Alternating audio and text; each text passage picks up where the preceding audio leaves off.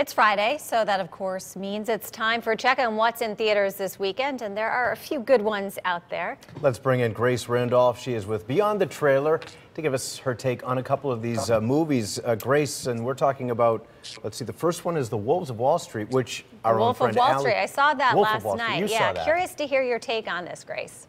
Were you surprised at the amount of nude, graphic nudity in the film? I was, and I also felt it was a three-hour movie. I felt like it Yeah. dragged on. Mm, No, it's written by Terrence Winter, who's an HBO staple. He worked in The Sopranos, Boardwalk Empire is his show, and I totally agree. It feels very episodic instead of uh, you know a strong story with a character arc. And what's been the- feedback on this? What have the critics said? Uh, the critics, you know, largely the critics have really embraced it, but I think that might have been a case of, hey, it's Scorsese, DiCaprio.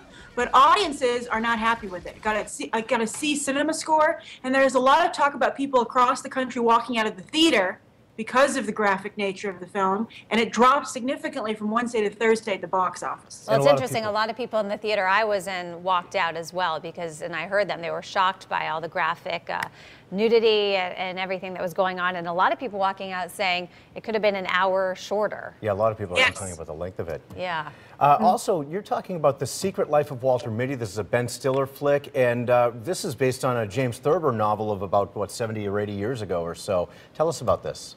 Well, it's interesting. The story keeps evolving. It's so great. And this is produced by uh, Samuel Goldwyn Jr. His father produced the first uh, Secret Life of Walter Mitty film with Danny Kaye. Uh, this film really uh, evolves the story for a more modern audience, and it also is a little bit about you know our life going from uh, magazine or print to digital.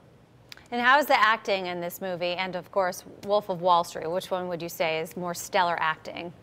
Uh, I think, you know, aside from the nudity in Wolf of Wall Street, I just, um, I don't think personally it's a very deep film. It's not a good story even besides that. Uh, Walter Mitty, it's not as epic as I think it would like to be, but it's enjoyable and it's certainly a very beautiful film to look at. So if you had to pick between the two, it sounds to me like you like the Walter Mitty flick Yes, better. I, I would see that. Or if you can find it in the theater, Saving Mr. Banks, my favorite film of the year. Ah, Oh, that's a good one. I wanted to see that one. There's so many good movies out there now to check out. Sounds like either one of them would save you a bunch of time over Wolf of Wall Yes. Street. Yes. Maybe a few hours uh, longer than that one, or longer than it needs to be. You could see, you could see both and you'd still be uh, You equal. still have yeah, some that's time to true. spare, so is that sad, right? but true. All right. Thank Grace you so Randolph much, will Beyond the Grace. trailer. Have a great uh, Bye. Friday. Thank you so much.